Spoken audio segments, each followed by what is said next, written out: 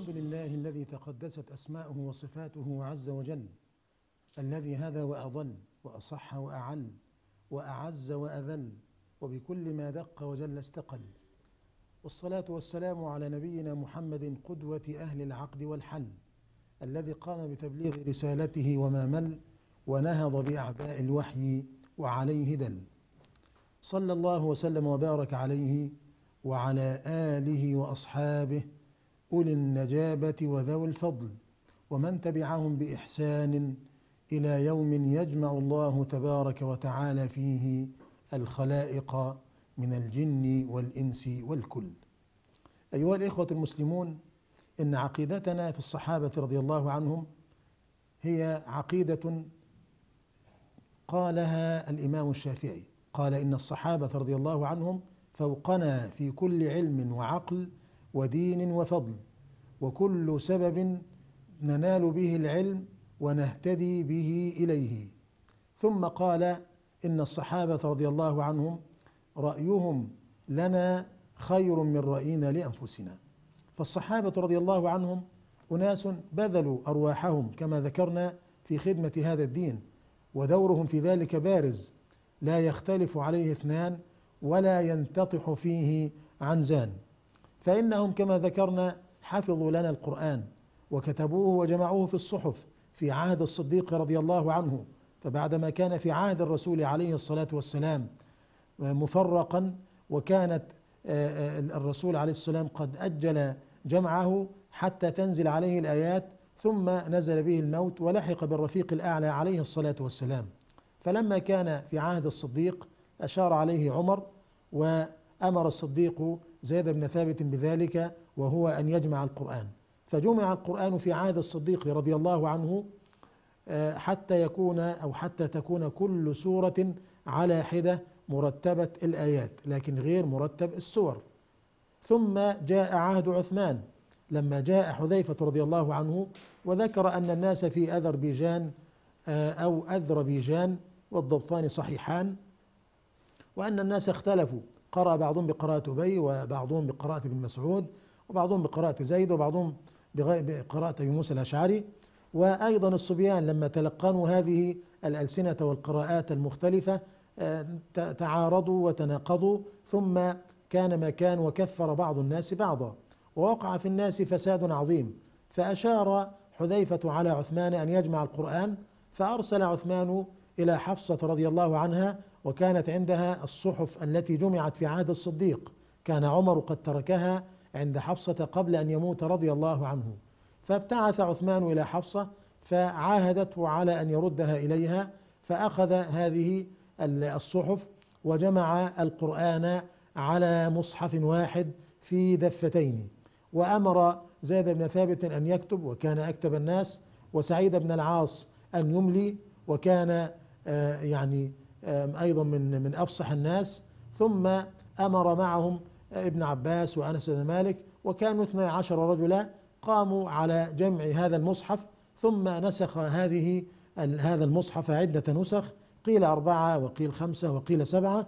ثم أرسل بها إلى الأمصار فأرسل إلى مكة وإلى المدينة وإلى الحجاز وإلى اليمن والشام والكوفة والبصرة.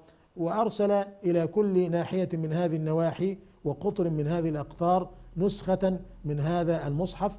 ولهذا اعترف بهذا الفضل علي بن أبي طالب رضي الله عنه الذي يقول الشيعة وكذبوا فيما قالوا يقولون إن عثمان حرف القرآن وإن أبا بكر حرف القرآن وهذا كلام كذب بلسان علي بن أبي طالب الذين يدعون ولايته والذين يدعون النسبة إليه وعلي إمام وصحابي جليل من آل البيت لكنه بريء من الرافضة كل البراءة. قال علي رضي الله عنه لا تقول في عثمان إلا خيرا فإنه ما جمع القرآن إلا عن أمرنا أصحاب رسول الله صلى الله عليه وسلم. جمعنا وقال إن الناس قد اختلفوا فما تقولون؟ فقال فقال علي وقال الصحابة قل أنت يا أمير المؤمنين. فقال إني أرى أن نجمع الناس على مصحف واحد حتى ندرأ هذه الفتن وبالتالي وافق الصحابة وقالوا نعم وأمر عثمان هؤلاء الرجال من الصحابة أن يجمعوا هذا القرآن وأن يجمعوا هذه الصحف وأن يكون القرآن في مصحف واحد. ثم بعد هذا انطلق الصحابة رضي الله عنهم إلى حفظ السنة لأنهم عرفوا وعلموا أن النبي صلى الله عليه وسلم كان يقول ألا إني أوتيت القرآن ومثله معه؟ وقوله عليه الصلاة والسلام تركت فيكم ما إن تمسكتم به لن تضلوا أبدا كتاب الله وسنتي رواه الحاكم. فالصحابة رضي الله عنهم لما عرفوا قيمة الكتاب والسنة وكانوا الأمنة عليهما والحفظة لهما والأوعية لهذين المنبعين الصافيين الكتاب الناطق والحديث الصادق قاموا وجمعوا السنة أو يعني قاموا بكتابة السنة وعن الرسول عليه الصلاة والسلام ولأنهم كانوا يعلمون أن النبي عليه الصلاة والسلام قال نضر الله امرأ سمع مقالتي فوعاها فأداها كما سمعها فرب مبلغ أوعى من سامع ورب مبلغ أوعى من سامع ورب حامل فقه إلى ورب حامل فقه إلى إلى من هو أفقه منه. وبالتالي فبدأ الصحابة رضي الله عنهم يتناوبون في سماع السنن من الرسول عليه الصلاة والسلام كما حكى عمر في قصته مع صديقه أو زميله أو جاره من بني زيد في عوالي المدينة. هذا الرجل الذي كان يتناوب مع عمر يحضر يوما ويحضر عمر يوما. وكان من الصحابة رضي الله عنهم من انقطع لحفظ الحديث وحفظ القرآن وحفظ السنة عن نبينا صلى الله عليه وسلم. كان من هؤلاء أبو هريرة رضي الله عنه الذي كان أحفظ الناس لحديث نبينا عليه الصلاة والسلام والذي كان أحفظ الصحابة وأكثرهم رواية عن رسول الله صلى الله عليه وسلم. حتى أنه قال أي أبو هريرة كنت ألزم رسول الله صلى الله عليه وسلم على ملء بطني لم يكن عنده مال يشغله ولا زوج ولا أولاد يأخذون وقته وحياته. ولهذا قال كانت الأنصار تشغلهم يشغلهم العمل في أموالهم وكانت وكان المهاجرون يشغلهم الصفق بالأسواق. وكان أبو هريرة يلزم رسول الله صلى الله عليه وسلم على ملء بطنه. فحفظ ما لم يحفظه ووعى ما لم يعو وكان آية من الآيات. وقد دعا له رسول الله عليه الصلاة والسلام أن يرزق علما لا ينسى فأجيبت دعوته. وكان أبو هريرة بالفعل أحفظ الصحابة رضي الله عنهم جميعا.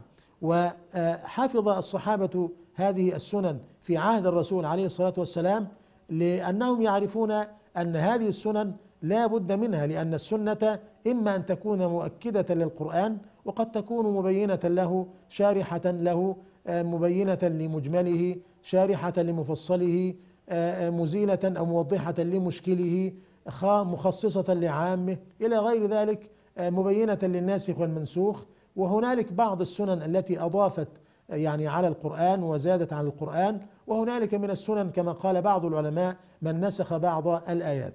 فكان دور السنة عظيما لهذا عرف الصحابة هذه القيمة وهذا المقدار للسنة وبالتالي قاموا عليها فجمعوها. ومنهم من كتب فكان في الصحابة رضي الله عنهم صحيفة علي بن أبي طالب عنده صحيفة وكانت صحيفة أبي هريرة وكانت صحيفة جابر بن عبد الله الأنصاري وصحيفة أيضا سمرة بن جندب رضي الله عنه وصحيفة عبد الله بن عمرو بن العاص التي كانت تسمى بالصادقة لما فيها من الأحاديث عن النبي عليه الصلاة والسلام. وبدأ الصحابة رضي الله عنهم بعضهم يكتب وبعضهم يدرس وبعضهم يعلم وهكذا وانتشروا هنا وهناك في الأمصار وفي البلاد وفي الأقطار ونشروا السنن وعلموا الناس الدين ويعني كان لهم فضل كبير وكانت بصمة عظيمة حتى بلغ ذلك أهل مصر لما جاء عمرو بن العاص رضي الله عنه في الثامنة عشرة من الهجرة النبوية السنة الثامنة عشرة ومكث قرابة سنتين حتى فتح مصر وهنالك وضعوا القواعد وبنوا جامع عمرو بن العاص ثم بني بعد هذا بمدة الجامع الأزهر وبنيت المساجد الكثيرة وكانت فيها مجالس العلم وانتشر العلم وكانت مصر حاضرة من حواضر العالم الإسلامي وكانت آية من الآيات في أرض الله سبحانه وتعالى بعدما أشرقت عليها شمس الإسلام وأطل عليها نوره وبذر فيها قمرها وكان هذا من فضل الله العظيم على أهل مصر. حتى صار أكثر سوادهم بحمد الله سبحانه وتعالى من أهل الإسلام لأنهم رأوا في الإسلام السماحة والراحة رأوا في الإسلام الصدق ورأوا في الإسلام آه، الدين العظيم الذي هو بالفعل أفضل وأكرم الأديان ثم أقبلوا عليه طوعا لا كرها فدخلوا في دين الله افواجا وكان هذا من فضل الله سبحانه وتعالى على أهل مصر. وكان الصحابة رضي الله عنهم في حياتهم يتثبتون حتى لا يقال من الرافضة أو من الخوارج أو كذا أو كذا إنهم أهملوا السنن أو تركوا السنن. كانوا يتثبتون رضي الله عنهم. فكان من أول من احتاط في التثبت في السنن آه، أبو بكر الصديق رضي الله عنه. لما جاءته الجدة وأرادت منه السدس فسأل هل لم يجد في القرآن ولا في السنة. فسأل الصحابة رضي الله عنهم هل سمع منكم أحد من رسول الله صلى الله عليه وسلم قضاء في الجدة حتى قام محمد ابن مسلمة؟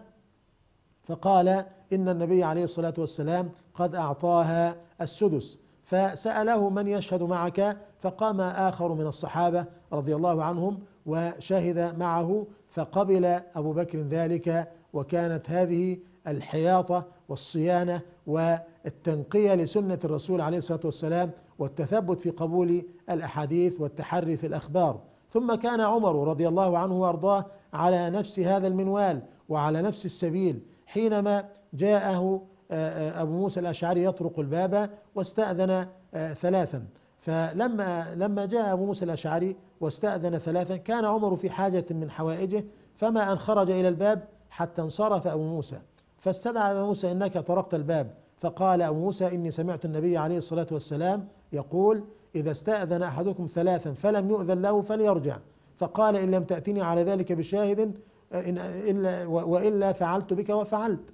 فذهب آه، إلى مجلس أبي بن كعب وهو متغير اللون والوجه فابتعث معه أبي رضي الله عنه أصغر الصحابة آنذاك سنا وهو أبو سعيد الخدري. فقام معه أبو سعيد وشهد مع أبي موسى أن هذا بالفعل من كلام النبي عليه الصلاة والسلام. ثم كان عثمان أيضا يتحرى في قبول السنن. ثم كان علي رضي الله عنه الذي قال ما حدثني أحد حديثا إلا استحلفته. وحدثني أبو بكر رضي الله عنه وصدق أبو بكر أن النبي صلى الله عليه وسلم قال ما من عبد يذنب ذنبا ثم يقوم فيستغفر ويصلي ركعتين إلا غفر الله تبارك وتعالى له. كان هذا من فضل الصحابة وهذه البصمة العظيمة التي بعد ذلك شهد الناس للصحابة رضي الله عنهم بالفضل بعدها وأيقنوا أن الصحابة بالفعل كانوا قد رأوا أن أولى ما صرفت فيه الأيام وأعلى ما خص بمزيد الاهتمام هو نصر هذا الدين واخذ السنة النبوية والمتلقاه عن خير البرية نبينا عليه الصلاة والسلام. لهذا قضوا حياتهم في خدمة كتاب الله المقتفى وسنة نبيه المصطفى عليه الصلاة والسلام. ومع أنهم كانوا قوما أميين إلا أنهم كانت أذهانهم سيالة وعقولهم فياضة وحوافظهم أو حافظتهم قوية وذاكرتهم لا تكاد تنسى ولا يفوتها شيء من العلم. ولهذا علموا الدنيا العلم ونشروه وحفظ دين نبينا محمد عليه الصلاة والسلام كتابا وسنة بفضل الله تعالى ثم بفضل هؤلاء الأصحاب. أيها الإخوة المسلمون إن الكلام في الصحابة من الرافضة أو النواصب أو الخوارج أو غير هؤلاء الآن العلمانيون يطعنون في الصحابة، الملحدون يتكلمون في الصحابة، المراد من ذلك هو هدم الإسلام. ولهذا ذكر أبو داود السجستاني صاحب السنن أنه جيء برجل يقال له شاكر. هذا الرجل جيء به إلى الرشيد فقيل له لماذا تتكلمون؟ أول ما تتكلمون في الصحابة والقدر. قال لأن الصحابة هم الناقلة فإذا بطلت الناقلة بطل النقل ولأن القدر إذا تكلمنا فيه نفينا الفعل والخلق عن الله. وإذا نفينا الفعل والخلق عن الله سبحانه وتعالى فإنه بذلك يعني يخرج هذا كله عن قدرة الله أو يعني يربون الناس على ذلك ويدسون هذا البلاء. وبالتالي آه، إذا خرج خلق الفعل وهو بعض أفعال الله يخرج كل هذا الخلق عن فعل الله سبحانه وتعالى. فانظروا أيها الإخوة المسلمون إلى غرض هؤلاء وأهداف هؤلاء ومكائد هؤلاء الأقوام إنهم لا يريدون التوسط في الصحابة لأنهم يعلمون أن الصحابة هم كانوا حماة الدين وحملة الإسلام وأوعية الوحي ونقلت هذه الملة بعلومها وكتابها وسنة نبيها عليه الصلاة والسلام إلى من بعدهم. فهم يعلمون جيدا قدر هؤلاء الأقوام وقدر الصحابة رضي الله عنهم وأنهم كانوا بالمنزلة الأعلى. ولهذا النبي عليه الصلاة والسلام قال الله الله في أصحابي لا تتخذوهم غرضا بعدي. من أحبهم فبحب أحبهم ومن أبغضهم فببغض أبغضهم.